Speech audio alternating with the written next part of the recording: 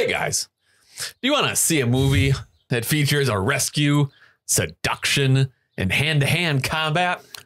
There's a lot of those. Uh, yes. If you do, then Sinbad in the Seven Seas. Is that the, Of the seven seas. Oh, the Seven Seas is for you. It- I just have written Sinbad. Talking about if you get hot, you want some candy, spray the chocolate. People thought I was on crack. I was. For people who have not seen Sinbad of the Seven Seas, Yes. right? Uh, Sinbad and his shipmates aid a young prince who, Shipmates. who must battle an evil wizard to gain the hand of a beautiful princess. Sinbad of the Seven Seas is the movie that we watch. Uh, my name is Brian Leh. Uh, to my left is Bran Bran. To my right is drinking. Grace for Lee.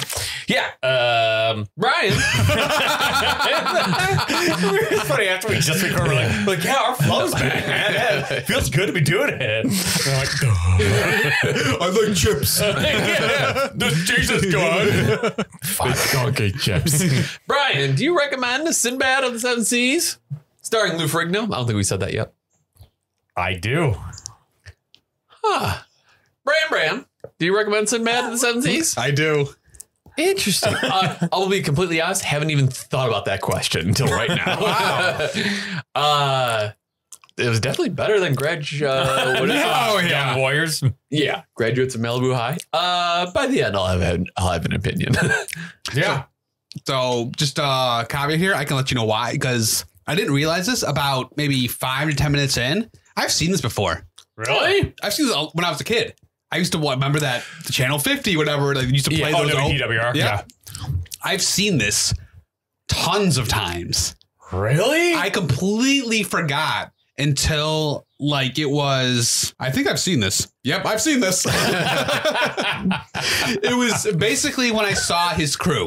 I just picture you talking to your cat, like, I've seen this. Yeah, of course. Yeah, yeah. And she- yeah. I'm just like, no, not now, Dad. I'm watching. I gotta see this movie that I see. Right. Yeah. No. Yeah. It was when I saw his crew because I'm just like I remember um that Poochie. Yeah, Poochie. I, re- I remember him. I remember the Viking dude, the Asian guy. I remember. I'm just like, well, it brought back so much like yeah, so nostalgic memories. it was so wasn't nice. I wasn't a huge fan of this, but I could see children liking it. So I'm sure if you see this at the right age, it's probably amazing. it it is because it's one of those movies when you're a kid where it's like you you can't watch. You know, these my parents weren't like wouldn't let me watch like Hot the Chili. Yeah, well, yeah. well, this is one of the movies where they let me watch it, but there's still like people like there's fights and like Yeah. like some It's an blood adventure stuff. movie. Yeah, yeah, fantasy adventure. It was. It's a. I think it's a great kid movie for like fantasy stuff. I think it's Mm-hmm. perfect. And for me, like I said, because I was a kid when I watched it. But I don't think it was I geared loved it. toward kids. No, I don't, necessarily. I don't think so. I don't think it was. But I mean, there wasn't like. I mean, there wasn't like crazy nudity. I don't think there's any nudity actually, and then it wasn't super yeah. violent at all. It was based So- off the Edgar Allan Poe story.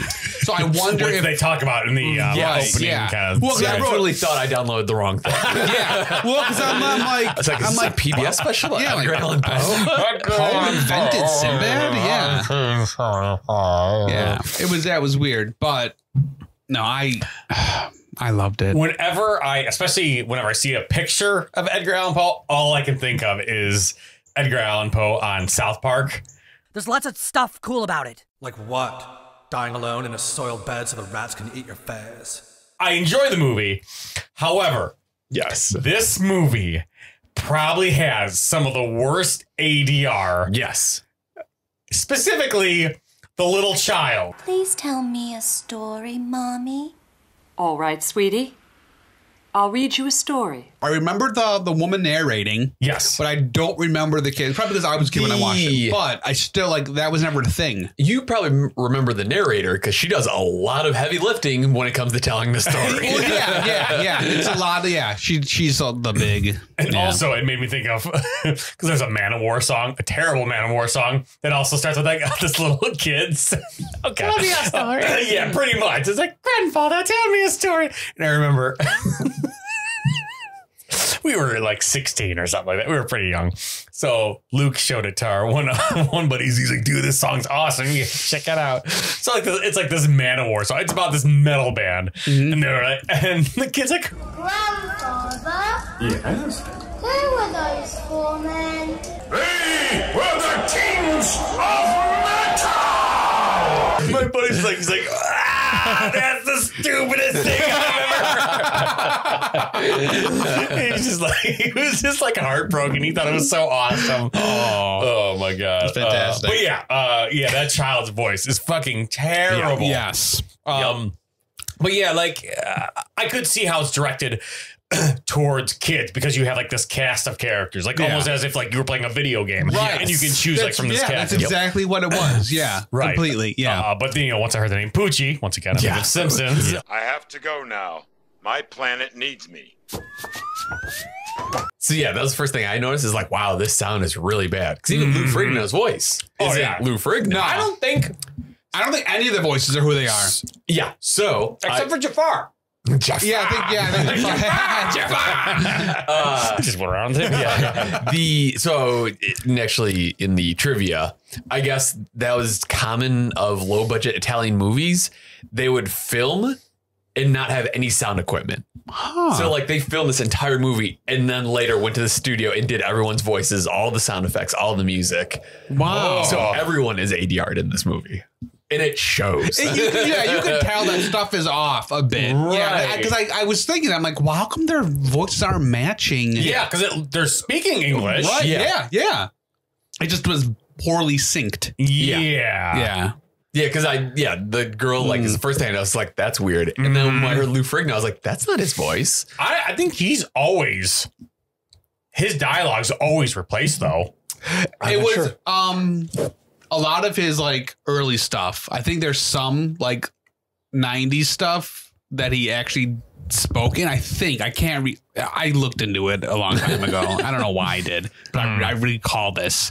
I, I think there's like a few 90s stuff he, he actually spoke in, but he didn't do much of it because he didn't like. Always half deaf. Well, yeah. Oh, thanks for the tip. they don't know that. So angry. don't yell at me. yes, he's half deaf. Thank you, Brian. Don't thank me now. 19 minutes in, I loved uh, Jafar. And my heart's desire! Ha! yes, I also wrote that down. Uh, just before that, though, around like 18 minutes, Lou Ferrigno has a full on conversation with rubber snakes. yes, which he later Yes. uses to tie together to climb up. So That was amazing to me as a kid. Snakes would be absolutely like murdered, right? If Lou Ferrigno held onto a oh, snake yeah. with his weight. Yeah. Oh, yeah. I mean, it depends on what kind of knot you use, but yeah, sure. Yeah, go. Yeah, I bet that whole scene where like he's like knotting snakes together. Dude, I'm gonna keep coming back to it, but this brought back so much. I remember like being a kid, you know, at night, you know, laying down before bed watching this, and like him doing the snakes. I'm like, would the snakes really let him do that? Like, think, well, kid stuff, you know, like Yeah. thinking like. But I, rem- I remember watching it now, and then being like. I remember thinking like if that was a feasible thing. I remember thinking if he can do this, like just throughout. I was like like with the Amazon island. Like, man, those women, like they really charm men like that. That's crazy. Just I was a dumb kid, man. Because I, want like because it was so so fantastical that it was so much better probably than my boring life, you know? Well, and you probably watched this before the internet was born. Oh yeah, like, oh, yeah. it's amazing. Exactly. Like I never saw anything like this. Um, Did I say when the internet was born? you did. I, was, I was gonna say something. I'm No, like, it's oh my fine. God. Yeah, yeah, That's a no. sentient being. Don't worry about yeah, that. yeah, yeah, um, yeah. Soon. Because I'm 56k. like, oh no, the worst version. so they do a, a decent job of making sure you're kind of that that we notice that we're in this certain time period, except Yeah. for the mind control machine. yes. All of Jafar's lair is weird. Yeah. Right. It doesn't fit the rest of the movie. Yes. Yeah. Man, It's- I assume the fact that it's a Cannon movie and the fact that it's an Italian movie, I assume that's a set that was left over from another movie. And they're like, fuck it, we're using it Yeah, again. yeah. And they're probably, oh, he's a wizard. He probably just like He wi- wizard Yeah, things. he sor- he sorcelled up some like plastic or something. Right. Yeah. yes. Yeah, and I love that the the, the the uh, the big butch lady that was with him. Supra, who's on all the PEDs. Yeah. Jafar was joined by another sinister ally, skilled in the arts of black magic, a wicked sorceress named Sukra. I think she was a good Man. well, yeah, but no, because he, was so driven on this evil, and she was supposed to be evil, but she'd be like, you know, you're not gonna win. Like, who said Yeah. So I loved their banter. That's the word. Yeah, Right. they, well, it was good because otherwise it would have just been back to Jafar. I'm evil. back to Sinbad. But it had this woman there that's like, well, you might not win. You're right. Whose side? And then he's like, whose side are you on? Yeah. What it added to the story is all. Mm. And was she literally just on the winning side? Whoever won, like that's the side she'd go I don't on. know what her purpose was. I, I really think it was just so we had banter back and forth with somebody. I really think that's hmm. what it was. could be. She had to have been. She, I mean, she had to have been someone though, like a fucking famous female uh, bodybuilder I'm or an sure. American gladiator Yeah, or I'm She something. sure. a female bodybuilder. Oh, yeah, Okay, yeah. yeah, because Uh, also around that time, like the 18, 19 minute mark, uh, the guards, they have hoods, no sleeves, no pants. I mean, that's what the guards Yeah. wear. gotta show off those Well, quads somehow. because it's you, you attack the head always, so they had to protect it. I don't know. I'm thinking something. I don't know, man. My brain isn't ready for trying to think of stuff. Um, so when they're so Sinbad has to like retrieve each of these like crystals or gems or something like that. So the first, what was the first one? Because the second one was like the like like the temptress lady. The second was the, the, the first. The second was Amazon Island. Good. Wasn't it the thing where he like popped off his head? It was like a rock monster. Oh, the like rock that, right? monster. That's right. Yeah. So those two were okay, but the third one, The it was ghost. like the Ghost Warriors. That one was boring. I was bored at that yeah, point. that one was because it was just empty armor, and it was just them beating up empty armor. And then uh yeah, it was the worst one all of, out of all of them. I just like because it, 'cause it was just cool to see him fight, but that was about it. Like it wasn't. Meh. Uh, I totally almost forgot until I saw this note. Uh, Nadir, the famous wizard. Is that with, with the mustache? Yeah. Oh, Yes. the- Probably one of the most annoying characters. Yes. 100%. we Yeah, covered yeah. I 100%. loved him as a kid. You would. I, I remember being like, just because he was goofy and strange and weird. It's like, oh, he's not talking like others. He makes boo boo boo boo sounds. Awesome. Now I'm like, oh no, uh, I know I don't Yeah, too much did shit in my life. I don't want to deal with this guy. Did you like Jar Jar Binks as a kid? Oh, you son of a bitch. no, because when that came out, I was You're in my. probably Why do you have older. that fucking poster in your house? Don't tell anyone. I have On your fridge and in the bathroom. above my bed. I Yeah, do not so- have a Jar Jar and in your bathroom it says Misa brush my teeth.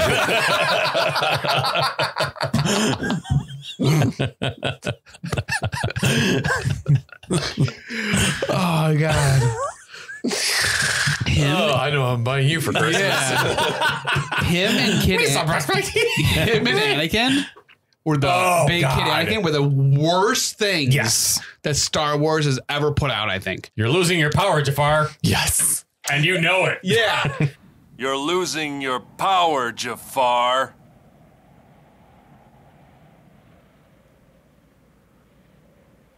And you know that. So does that mean one, Jafar has cameras, and two, Lou Ferrigno can see that there's cameras, so, so he can talk Oh. into the oh. lens? well, you know, you know, Jafar's always looking into that like sorcery Right. thing, so we can see what he's doing. Into And the just- Truman Show kind of thing. Since Sinbad knows of Jafar, he's known him for a while, I guess. He Yeah. probably knows that Jafar because he knew he even knew Jafar he- wasn't a good guy. but he knows where to look, though. It's not he's like, I see you, Jafar. Yeah, Like, that, yeah, he's like, yeah, yeah, Breaking yeah. the fourth Yeah. wall. Right, yeah. Well, maybe maybe Jafar's like, okay, so if you ever like get a crystal, just look north because I can only see north really Keep it well. confidential from real world. Like, God damn it, Yeah. Jafar ate my chips and salsa. uh, but to go back to that fucking annoying mustache guy. Yes. There's that scene where he's like, per, like he's prepping food. And literally, I'm just like, what the fuck is happening Yeah. right now? It's Yeah. like, I have no fucking idea. Yeah. But then at 106, uh, uh, Lou Ferrigno makes that weird noise.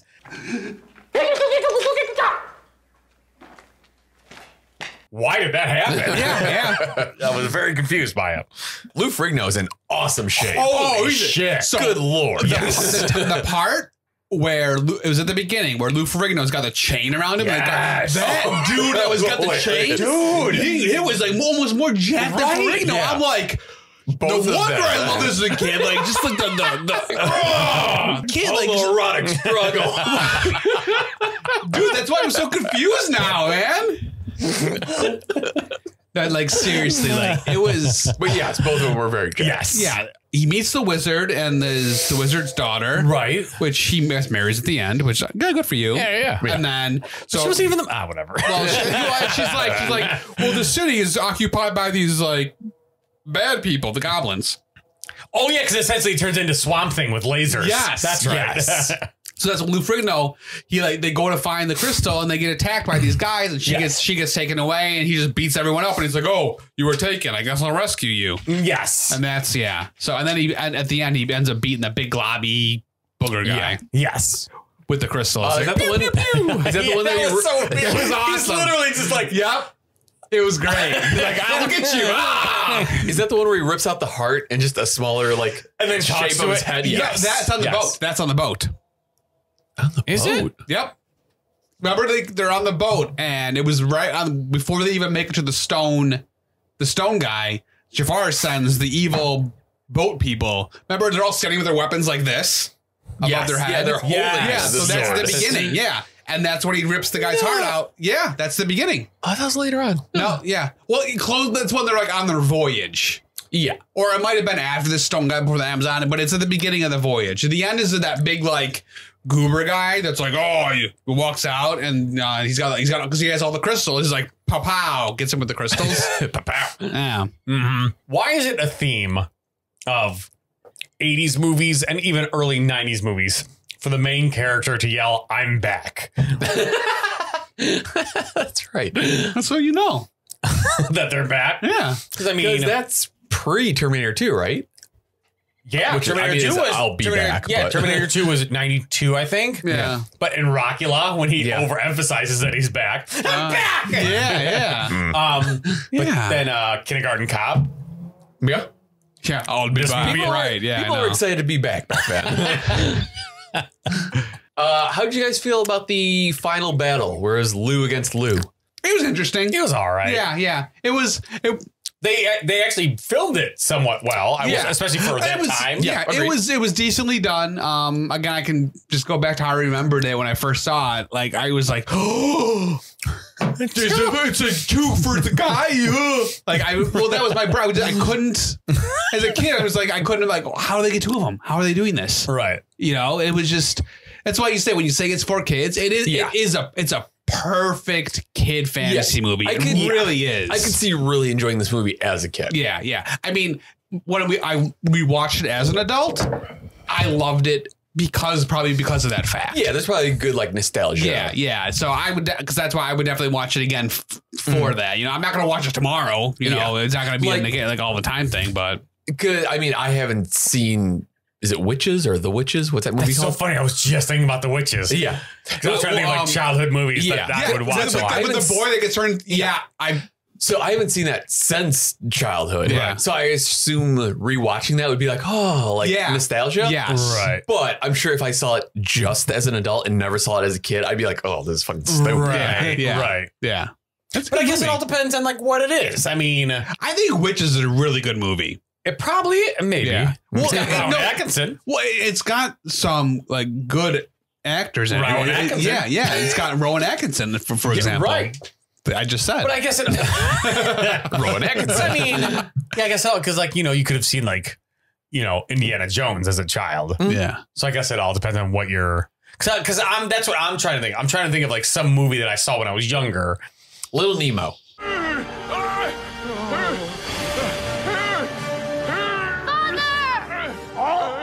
I see. I never got into. I, saw, I remember I saw Nightmare on Elm Street as a kid. Right, but I'm trying to think of like a like a But- but lower. That, that like I I remember laughing as a kid, and I laugh now at it. At like what? in like Nightmare on Elm Street, it made me laugh. Because I thought, because I thought the guy was funny. You just He does make some- yeah. Well, yeah, that- well right. that's what got me as a kid. I mean, I was scared of the scary stuff, of course, but I was like, oh, he's a goofy guy, but oh no, he's not goofy anymore. Like that kind of thing. He's goofy until he kills. Ah. Yeah, because like I, wa- I watched like Spaceballs, Time and- Bandits. Time Bandits. Time, uh, Time Bandits. That was the uh, who? I don't think it was a Gilliam movie, but it was with those guys. I don't have any more notes. Uh, Yeah. yeah, just uh, kids that were. Oh, okay. I didn't know the kid at the end where the mom's like, "Okay, you got the story. You shut up." Yeah. the kid has a picture of herself Yes. above her bed. And it's an ugly picture. yeah, too. she's like, she's like, ah. yeah, like super yeah, messed up like, hair. who, Yeah, who yep. keeps a picture of themselves like right, like so she's sleeping, it's like right there. yeah. Like so when she wakes up, she's like, I can't live like that today, and let's get the day I used to be so young and pretty. yeah, yeah, yeah. I turned seven. It's going downhill now. A little bit of trivia. Uh, oh, so at the very beginning, it claims that uh, this was based on Edgar Allan Poe's The Thousand and a Second Tale of Schnazzaride. uh, but there's actually no similarity between the movie and that story. Oh, well, there On we go. point. Very good. uh, like we said, all the uh, basically this entire movie was filmed on location without sound, so they had to do everything later. Um, Lou Ferrigno has stated during an interview that this was one of his favorite movies to make. Oh, See, then you know what? That makes me love it even more. his hair is magnificent in this movie. It is fantastic. Yes. Like he just he is the premium package in this movie. The big muscles, the hair, he is good to go. Nice. Uh, now that we've talked about Sinbad, uh, Brian, Brian, do you still recommend it? I do. Okay, Brian, do you still recommend it? Yeah. Uh, I don't know. I'm, I'm kind of. I don't hate it, but I'm like I'm not in love with it either. Well, to me, it's like you, you're not you're not going to go into this movie being like, okay, let's watch a, like a really kick ass Lord of the Rings type fantasy movie. Stab the truth. yeah, it's not going to be that. But if you want something lighthearted that you maybe you want like a, a background, like maybe you're like doing something, or like maybe you're like got a group of fans that like cheesy fantasy movies and you get together to watch them. Watch this. This is a good one. You know, you, you'll enjoy it compared to a lot of the other Yeah. crappy cheesy fantasies that are out there. better? Would you guys say is better or worse than the Barbarians? Better. Oh, Oh my yeah, better God. than the Barbarian. So yeah, much better. better. Yeah, so much better. Yeah. And I'm trying to think what other fantasy movies we've watched. Hercules. Better Yeah, than Hercules. Yeah. yeah, Hercules is not good. Yeah. yeah, I will say that this is better than Yeah. Hercules. When it comes to Lou Ferrigno films, Yeah. Even though the dubbing was off a bit. yeah, I think that's what threw me off the most. Yeah. It was it was still I feel even like that was better than Hercules. Like it was still like even though it was off, I enjoyed the content of the the back and forth mm-hmm. between people more than Hercules. Yeah, I'm trying to say. can see Yeah. Okay. There it is. Oh, there it is. All right. Till next time. Boom, boom. Boom, boom. If you like Nick Cage and horrible great movies from the Cannon Group films, then like, comment, and subscribe for Nick Uncaged podcast.